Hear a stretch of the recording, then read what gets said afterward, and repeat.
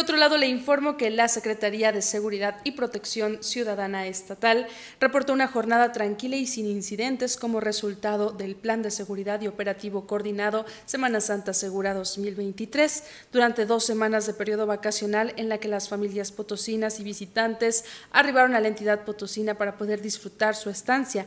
Esto fue lo que dijo su titular general Guzmán Ángel González Castillo. Veámoslo. Satisfactoriamente es un saldo blanco. Eh, ustedes saben que tuvimos actividades, los parques Tangamangas, donde mandaron mucha, mucha seguridad.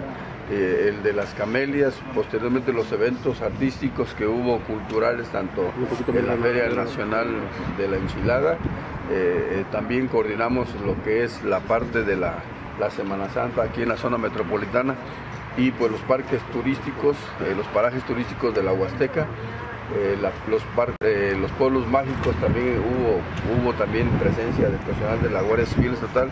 Y gracias a la coordinación también destacada de tanto del Ejército, Guardia Nacional